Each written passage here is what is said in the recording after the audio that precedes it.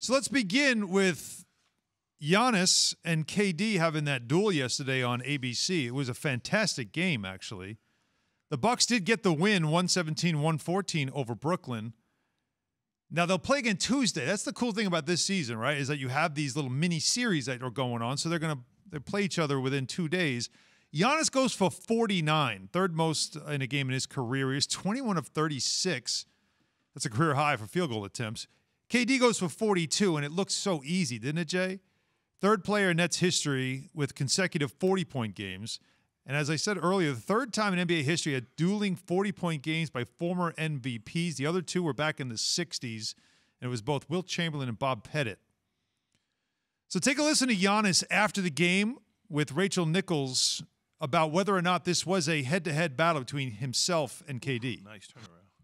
I was not going back and forth with, KD. You know, KD is one of the greatest scorers to ever play the game. You cannot play that way. You know, if you go back and forth with a guy like that, he's going to score 50, 70. You know, you know what I'm saying? I, I just had it like a lucky night. And uh, at the end of the day, I was able to slow down get to my spot, kept being aggressive. Uh, but this, this game don't mean nothing. It doesn't mean nothing to me. Uh, we play them again in two days. And uh, as you said, it's a team that we're going to see in the, in the playoffs if we want to go to the finals. Uh, but we got to lock in. We got to come ready on uh, whenever we play them. And uh, hopefully we can get a win then. This is the rivalry the NBA needs. And I know that Giannis just said some pretty complimentary things about KD. But let me give you some insight into Kevin Durant and how this rivalry is going to happen. So Giannis drops 49 last night, right? Try to attack the rim, try to dominate every possession. That's how he plays. He plays pissed off all the time. I love that. But when KD thinks about who are the best players in the game, he loves Michael Jordan. You know why? Michael Jordan had the complete arsenal, the complete toolkit. Whatever you needed, diversified toolkit, I can give it to you. KD sees the best of the best, having all the pieces. Giannis doesn't have all the pieces yet, right? So there's a little bit of that. And I'm not saying I'm speaking for KD, but like, all right, like you're Giannis, you're good, but you're not. You ain't me. You're not me. Yeah. You're not me. Giannis wants to be better than KD. But last night, watching KD miss the shot to tie the game and watching Brooklyn players walk up the court clapping, right?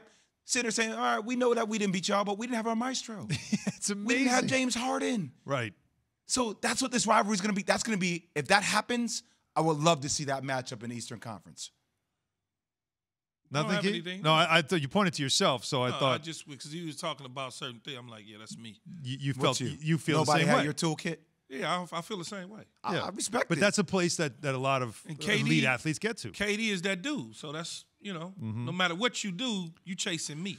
But I will say this, Alan, you and I were talking about it. When you saw Giannis score in the last two and a half minutes of the game, He was one for what- four, and the only the shot he made was an up and under where Blake doesn't need to bite on the ball fake. Exactly. They he, let he him- jumped they for let the him ball walk fake, a into fadeaway. jumpers. Yep. Let him shoot it, Blake. So coming down, it, it's always going to be the same narrative until Yep. we get to the playoffs with Giannis. And plus, when you talk about those threes that they just let him set up, Walk for, up and gonna, shoot 'em. They gonna run up on him though. In the in No, they won't. No, they no, won't. No, no. They'll let him shoot it You in the can live with kid. him making threes because he No, I, doesn't. when I when I say run up on him, they not just gonna sit there and go like that. They gonna put a hand up to try to at least get in his way. Mm, oh no, no, no, no, Why no, no, no, no. I'm telling Key. you. Why wouldn't you? No, no, why? It's psychological warfare. Yeah. If, if we're in the middle of an NBA game and I'm five feet off you, that's a pretty, pretty glaring sign. Oh, I don't even get it. Respect I your shot. understand. Uh, I don't is- respect it. Get out of here.